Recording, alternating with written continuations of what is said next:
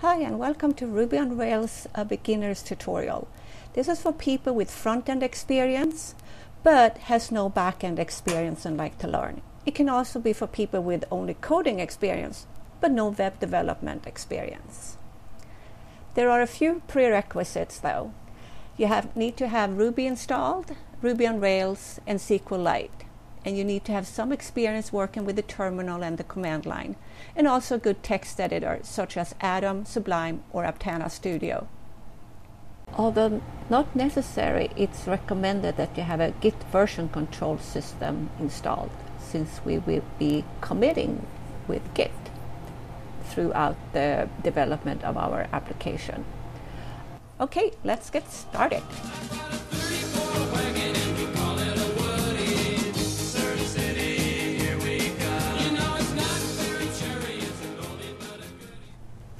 First open up your browser window and go to guides.rubyonrails.org and click on Getting Started with Rails. This takes you to a page that contains information how to set up your Rails environment. It also contains the majority of the instructions for this tutorial. Minimize the browser window and open up the terminal. I am enlarging the text so the typing will be more visible more clearly. Let's make a directory for our project. You do so by typing mkdir and the name of the new directory which we are creating. I will name it ROR projects for Ruby on Rails projects. To change into our new directory, we type cd and the name of the project director we just created. We are now ready to create our Rails application.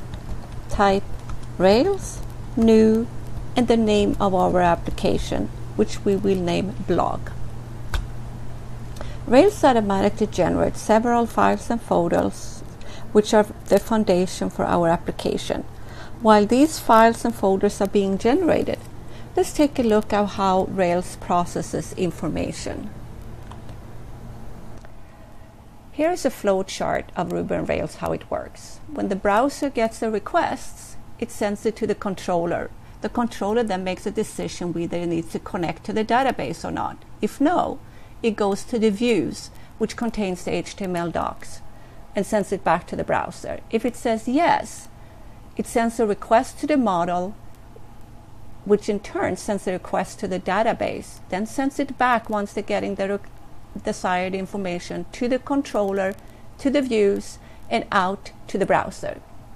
There are something called helper files. Helper files are really great to put functions with math for, for instance, compute time or make a calendar or something like that. Also, of course, in the background is the server that needs to be running in order for us to see it in our browsers. Okay, Rails has now generated the application. Type clear to clear the terminal window.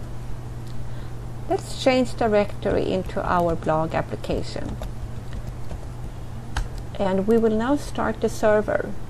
Open up a new tab and type Rails server.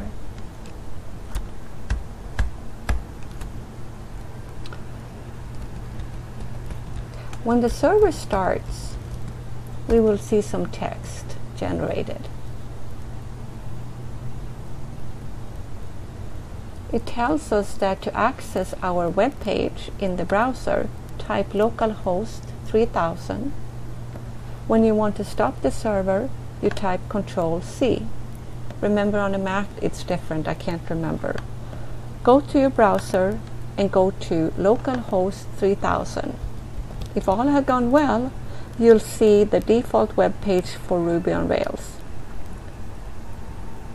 It also shows what Rails version you're working on and what Ruby version and the underlying operating system. I run on Linux Ubuntu. Go back to the terminal. Here you see that there is now more text displayed. This shows that the server used a method called get to output the web page to the browser.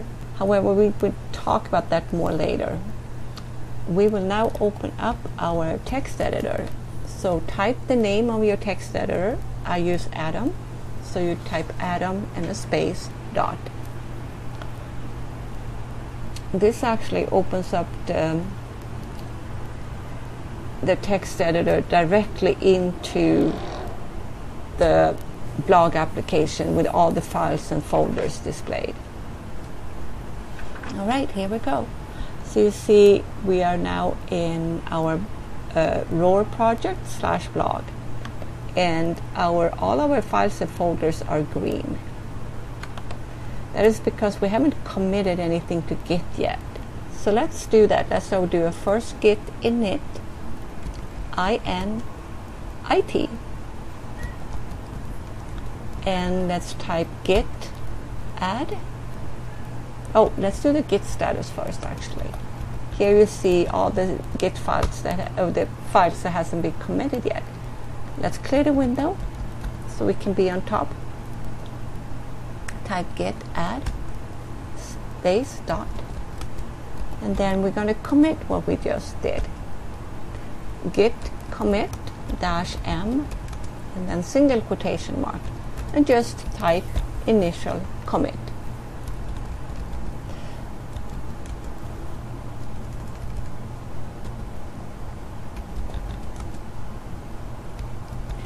Okay, so it um, let's clear the window and let's go back to our editor and you see that immediately our color of the files changed from green to gray. You will now learn how to generate your first controller action and view and make modifications to the routes file. Alrighty, let's get started with that. Generate the controller by typing Rails, generate controller, the name of controller, welcome, and the name of the action, index. This generates the basic files needed. Let's take a look at everything in our text editor. As you can see, in the asset folder it created a CoffeeScript file.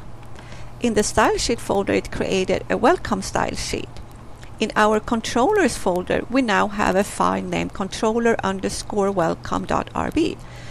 This is the controller we just generated and this is the action we created.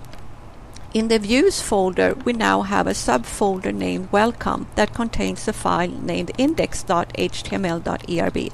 This document and the index action in the Welcome controller have matching names so they can communicate with each other. The routes.rb file in the config folder has been modified. A get method tells us that the route welcome slash index will fetch the HTML document in the browser. Go to the browser after localhost 3000 type slash welcome slash index. And here you see this is the HTML document or the view as we call it in Ruby. Go to your terminal window where you started the server.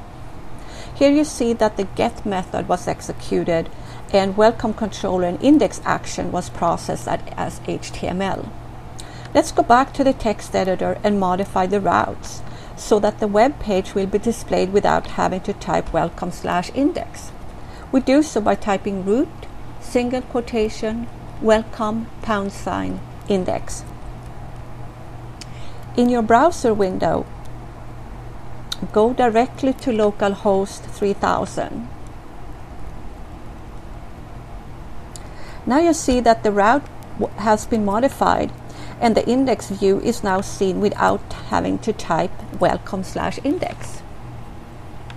And also in your uh, server window again, you see it says started get with just a slash, meaning it went to the root directory. Let's commit what we did. First clear the window, type git add dot, and then we type git status just to take a look at what we did. Okay, and we're going to type git commit dash m single quotation.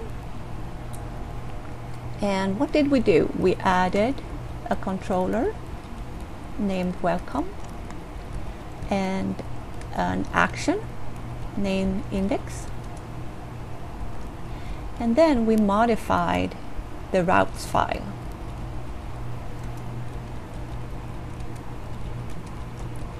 So the route included when you know how to go directly to welcome index at the root directory. All right. Okay, let's clear the window again and let's type git status again and see what's ha what happens. Okay, so here it says that we on branch master and nothing to commit. Okay, we are good to go. Next up, we will begin using the Ruby syntax and create an input form for our blog.